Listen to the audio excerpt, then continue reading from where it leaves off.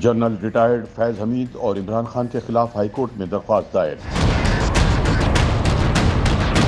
Awami National Party N P की जानब से सबक वज़ीर अजम इमरान खान और lieutenant general retired Faiz Hameed के खिलाफ पिशावर हाई कोर्ट में दरख्वास्त दायर कर दी गई है। दरख्वास्त सूबाई सदर A N P Aimal Wali Khan की जानब से दायर की गई, जिसमें के पी हुकूमत सबक वज़ीर अला महमूद खान और बैरिस्टर मोहम्मद अली सैफ को फरीक बनाया गया है।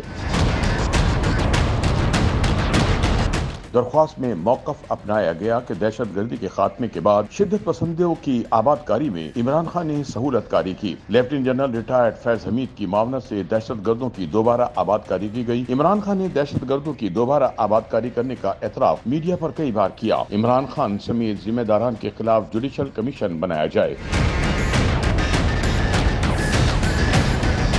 दरख्वास्त में ये भी इस्तः की गई कि मुल्क में दहशत गर्दों की दोबारा आबादकारी पर फैक्ट फाइंडिंग कमीशन बनाया जाए।